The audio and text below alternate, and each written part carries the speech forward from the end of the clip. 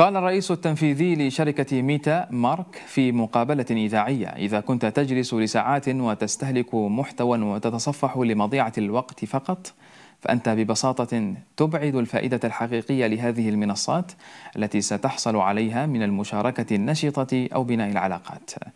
وأوضح مارك أن هدفه من فيسبوك وميتا فيرس وغيرها من المنصات ليس جعل الناس يقضون المزيد من الوقت على الإنترنت بل لجعل وقت كل شخص على الإنترنت أكثر أكثر إيجابية وتفاعلية وإنتاجية.